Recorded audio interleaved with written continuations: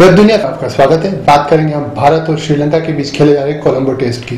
खेल के तीसरे ही दिन भारतीय टीम ने श्रीलंका पर शिकंजा कस दिया है। फॉलो ऑन देने के बाद श्रीलंका की दूसरी पारी में भी टेंड कर दिया है।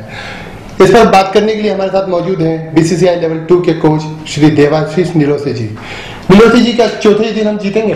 हाँ निश्चित तौर पे जिस जिस तरह से आ, हम देख रहे हैं और जिस तरह से परफॉर्मेंस इंडियन टीम ने किया है और श्रीलंकन टीम ने किया है उस हिसाब से लगता है मुझे कि निश्चित तौर पे चौथे दिन ही इसका रिज़ल्ट आ जाएगा।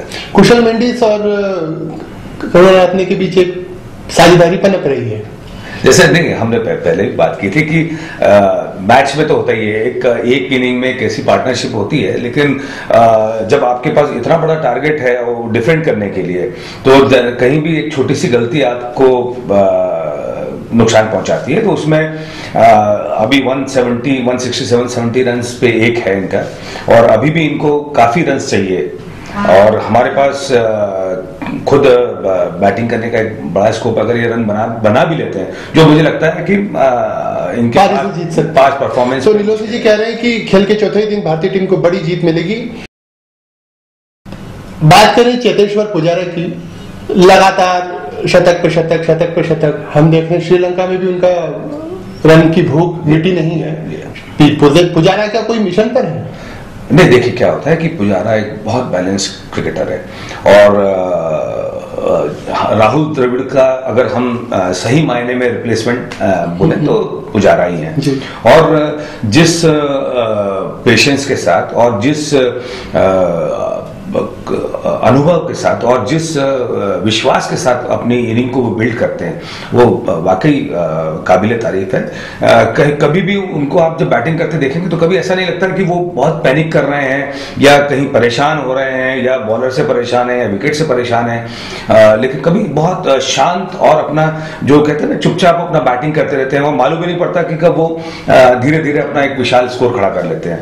तो मालूम भी नहीं पड़ता धीरे धीरे ये शब्द एक और खिलाड़ी पर फिट बैठता है। आर अश्विन 250 विकेट और 2000 रन का डबल बना चुके हैं। मालूम ही नहीं पड़ा कब इतनी बड़ी उपलब्धि उनके नाम हो गई।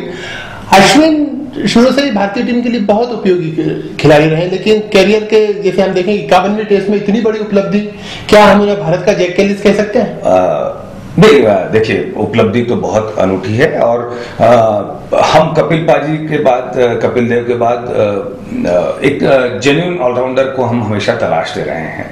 और उसके बाद कपिल पाजी के बाद आज हमको आर अश्विन में एक वो स्पार्क दिखता है और वो आ, वो काबिलियत दिखती है कि वो अपने आप को एक बहुत अच्छे ऑलराउंडर के रूप में स्टेब्लिश कर पाए।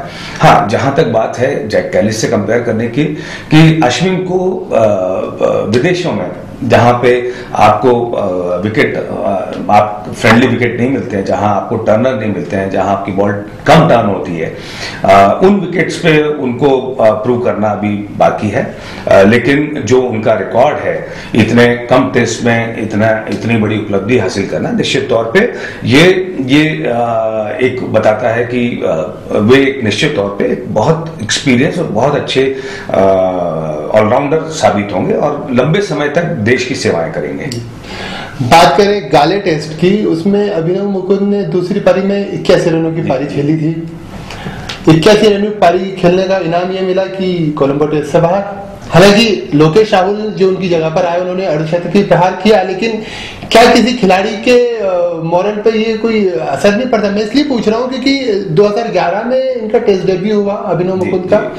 2011 में जब ये खेले तो हम 2017 में हैं छह सालों में सिर्फ़ सात टेस्ट खेले हैं और ऐसा एक बार नहीं कई कई बार हुआ है। तो सिर्फ़ एक फिलर के तौर पर? टैलेंटेड नहीं नहीं नहीं देखिए क्या होता है कि ये ये इसको हम दूसरी तरह तरह से ले कि ये हमारी बेंच स्ट्रेंथ है। ये हमारी बेंच से शो करती है कि हमारे पास आज अगर एक प्लेयर नहीं ठीक पर कर पा रहा है तो हमारे उसका रिप्लेसमेंट दूसरा प्लेयर है। अगर हम कंपेयर करते हैं राहुल से तो अगर पुराना रिकॉर्ड देखेंगे तो राहुल एक कंसिस्टेंसी के साथ, राहुल ने टेस्ट में पदार्पण किया था और अपनी प्रतिभा के साथ उन्होंने जस्टिस किया है।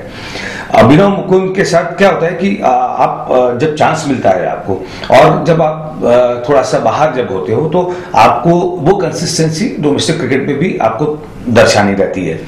तो वहाँ पे जब आपका कंपैरिजन राहुल से हो या शिखर धवन हो तो भाई चॉइस तो डेफिनेटली वहीं जाएगी जहाँ जहाँ जो आपसे बेहतर खिलाड़ी होगा और कप्तान को जिसपे ज़्यादा भरोसा होगा।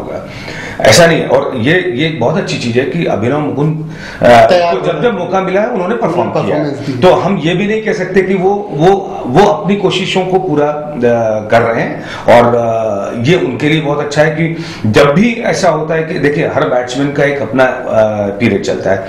कभी बहुत अच्छा करते हैं कभी डाउन होते हैं। तो जब आप अच्छा करते हो जब आप थोड़ा सा एक साइकिल जब घूमता है तो उस बीच में आप तैयार रहते हैं कि जब मेरा मौका आएगा या जब मुझे मौका मिलेगा तो मैं अपने आप को स्थापित करूँगा। तो अभिनव मुकुंद अपने मौके के इंतज़ार में ही है। ग्वालियर टेस्ट जीतने के बाद रवि शास्त्री ने टिप्पणी की थी कि ये बहुत बड़ी जीत है और जैसा कि नीलोसी जी बता रहे हैं कि हम टेस्ट के चौथे दिन कोलंबो टेस्ट भी अपने कब्जे में कर लेंगे। इस जीत के बाद विराट कोहली को भारत के सर्वश्रेष्ठ कप्तानों की दौड़ में मान लिया जाएगा?